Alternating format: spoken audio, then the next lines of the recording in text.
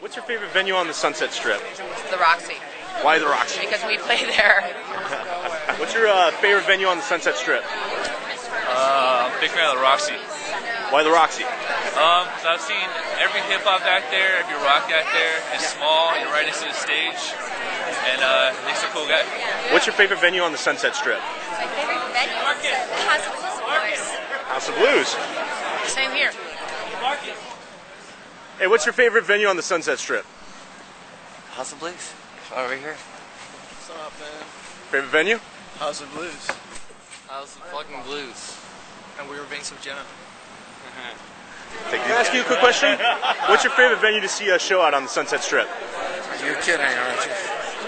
No. Could be the Roxy. Yeah, I know.